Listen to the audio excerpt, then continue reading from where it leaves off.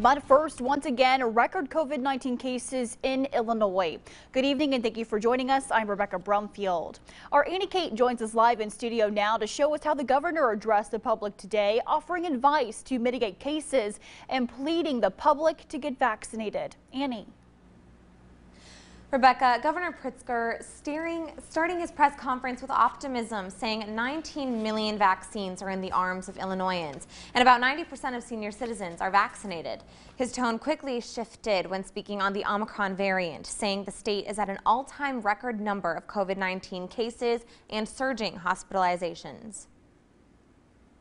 Governor J.B. Pritzker pleading with the public Monday. Get vaccinated as the state faces a record high number of COVID 19 cases and surging hospitalizations. It is frustrating and tragic that two years into the pandemic, with multiple widely available and free life saving vaccines, that we are once again in this horrible position. Pritzker saying 85% of hospital beds, 95% of ICU beds, and nearly 100% of ventilators in the state are occupied by unvaccinated patients. People not taking advantage of something that could save their lives.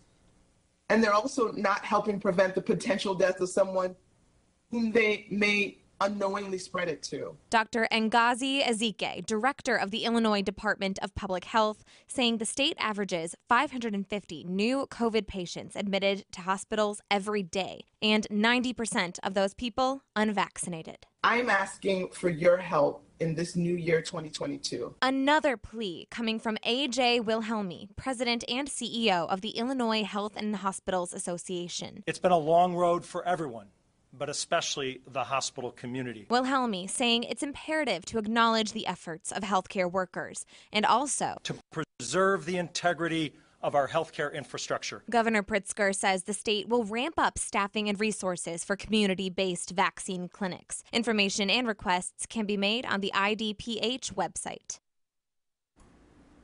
And something else to keep in mind, Dr. Ngozi Ezike warns against scammers who may be setting up illegitimate vaccine clinics. She says to ask questions to the staff if there is any uncertainty. And the IDPH website lists the location of testing sites. That link can be found right now on CIProud.com. Rebecca?